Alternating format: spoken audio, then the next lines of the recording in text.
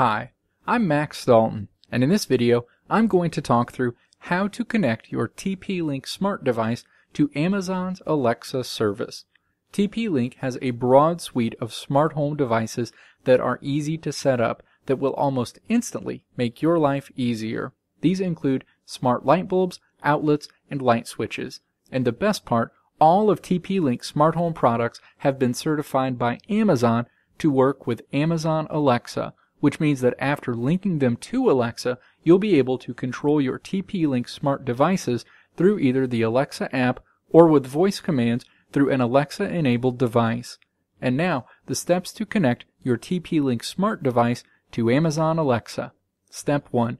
Before you can link your TP-Link smart device with Amazon Alexa, you first have to register it with TP-Link's Kasa app. The Kasa app is available from both Apple and Android app stores.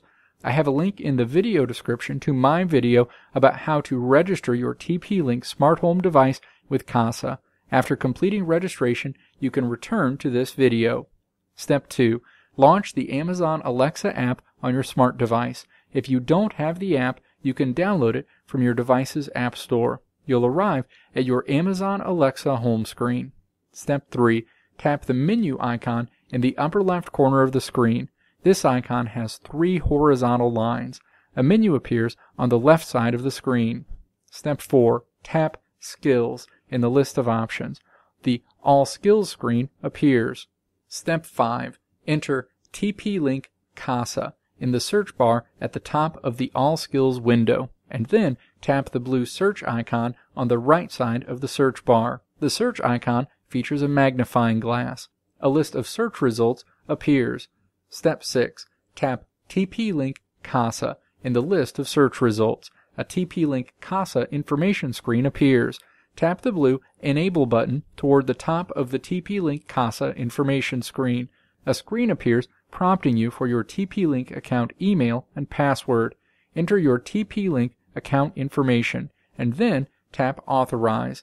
Tap Done in the upper left corner of the next screen telling you that you can leave this page. You'll return to the TP-Link Kasa skill information screen, where a Discover Devices dialog box now appears. Step 7. Tap Discover Devices in the Discover Devices dialog box. A screen appears informing you that Alexa is looking for smart devices to connect to. A progress bar also appears on the screen showing you the progress of scanning for available smart devices to connect to. The smart home screen appears after the scan is complete. You should see any TP-Link smart devices you've set up associated with the TP-Link account you entered appear on this screen in the Devices section. You can now control your TP-Link smart device through the Alexa app, or you can control it with your voice by talking to Alexa. When using a voice command to control your TP-Link smart device, you'll need to say, Alexa, turn on, or Alexa, turn off, and then the name you have associated with your device in Alexa's smart home section. For example, one of my lights I have set up is named storage room light.